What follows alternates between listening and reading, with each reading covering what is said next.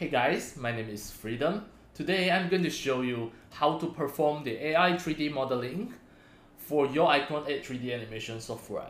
How to use the AI to create any 3D model and then import into iClone 8 to make it become your iProps, your 3D assets in iClone 8 3D animation software. So start from now, I'm going to show you the step by step. First, what you need to do is just go to my video description. I already shared this website to you. This is an AI website, what we call the Genie AI 3D modeling website. Just click into the link, then it will automatically opens the the AI sites. That is the lumalabs.ai slash genie. Then you need to just log in by using your Google account etc email address it is really easy it is free.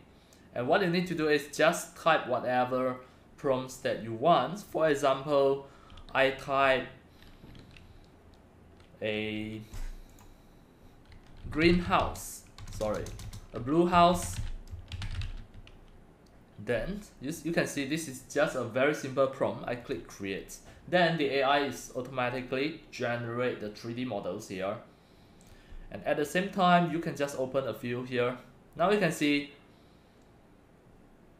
the AI respond to my prompt. I was I choose another another file. Then I click download.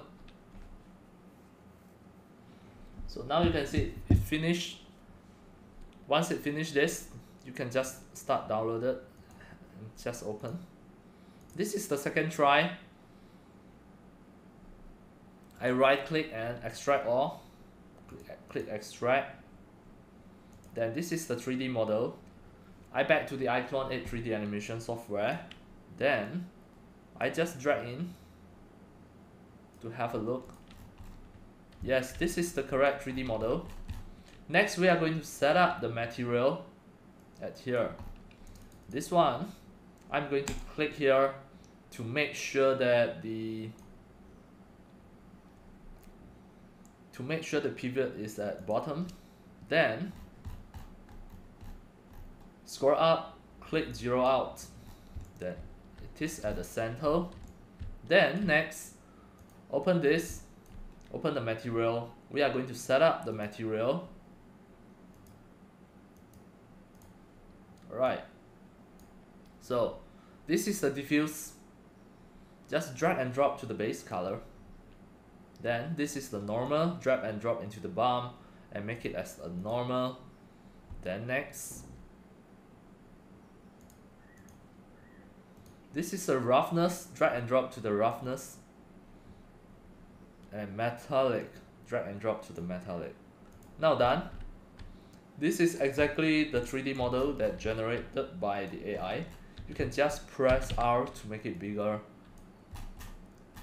But you can see actually the quality I, I just choose the low resolutions.